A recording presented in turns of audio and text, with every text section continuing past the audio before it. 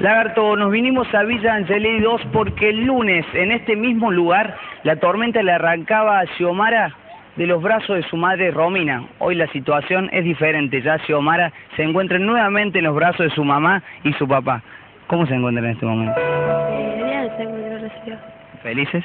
Sí, muy fuerte. ¿Qué pensaste en ese momento? Eh, que la perdíamos, lo único.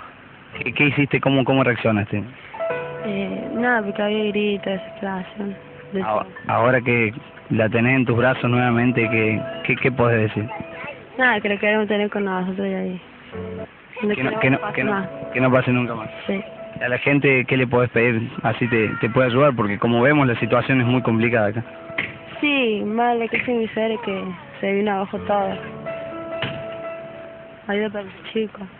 Maxi, ¿vos qué, qué podés opinar acerca respecto a esto? Yo nada, que lo que den ayuda nada más, con sopa, cama, aparte- lo que tenga, será todo bienvenido. Acá no tienen agua eh, ni luz. Tienen que pedirle a los vecinos del frente de las casas nuevas. También que si podían hacer eso de poderle dar la luz y el agua.